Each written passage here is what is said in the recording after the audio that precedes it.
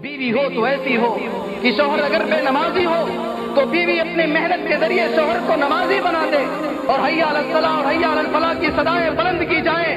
بیوی ایسی ہو جو اپنے شوہر کو تمام کاموں سے چھوڑا کر کے اپنے شوہر کو کہے، میرے شوہر، جائیے، اذان ہو رہی ہے، نماز پڑھ لیجیے فجر کی نماز کے وقت اگر شوہر ٹال مٹول کرے، بیوی اٹھے، اپنے شوہر سے کہے، میرے شوہر، کیا سلا خیر من النوم کی آواز آپ کے کانوں میں نہیں آ رہی؟ اے میرے شوہر، اٹھیے، جائیے مسجد میں، اللہ کی عبادت کیجیے۔ اگر آپ اس دنیا کے اندر نماز نہیں پڑھیں گے، اگر آپ اللہ کی عبادت نہیں کریں گے، تو کل قیامت کے دن اللہ تبارک و تعالیٰ کے سامنے کون سا چہرہ لے کر کے حاضر ہوں گے؟ اللہ کو کون سا چہرہ دکھائیں گے؟ اللہ کے سامنے بے نمازی بن کر کے کیسے جائیں گے؟ میرے پیارے ساتھیوں، بیوی ہو تو ایسی ہو جو نیک کام کرنے پر شوہر کی ہمت افزائی کرے اور برے کاموں پر شوہر کو منع کرے، شوہر کو ڈانٹے اور شوہر کو دین کے کام کرنے کی تلقین کیا